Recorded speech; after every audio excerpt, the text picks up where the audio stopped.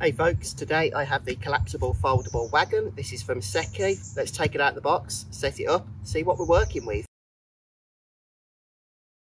Okay, so inside the box we've got the main wagon itself along with the protective casing here when it's folded up and also the floor panel which is stored in this as well. So this will open up and we'll use this a little bit later on. We've got the instructions in here also. And to open this up, there's a strap here, so we will undo this and then it should just open up, yet, and we just need to push it down in the center in order to lock it into place.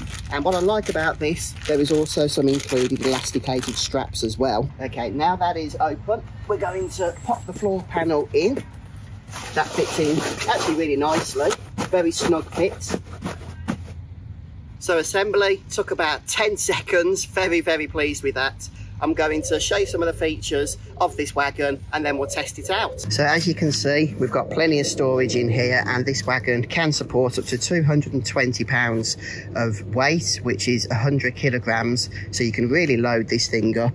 The handle here has a lot of movement to it. It can adjust to all of the angles, so very easy to carry this around, which is always important with these wagons. The wheels themselves, only the front wheels are able to turn, but they are able to do so for a full 360 degrees.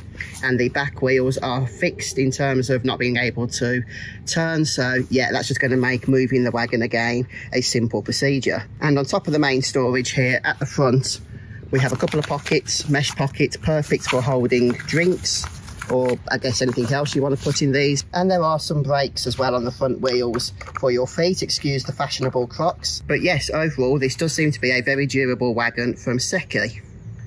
Okay, folks, all loaded up now. As you can see, I've put these straps to use. They are going to do a great job at holding your heavy loads down and anything that's just hanging out the trolley a bit, they will help to keep in place. So I'm going to go for a little walk with this now and see how it performs.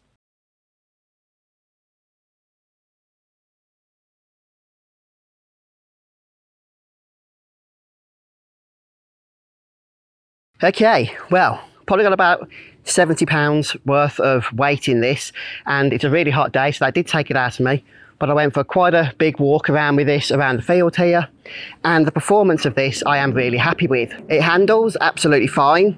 The handle here is very comfortable to use and the trolley itself does seem to be very robust. I'm not really familiar with the brand Sekey, I've not really purchased anything from them before but yeah as my introduction to that brand I'm very happy. This seems like a good trolley so hope the video helped.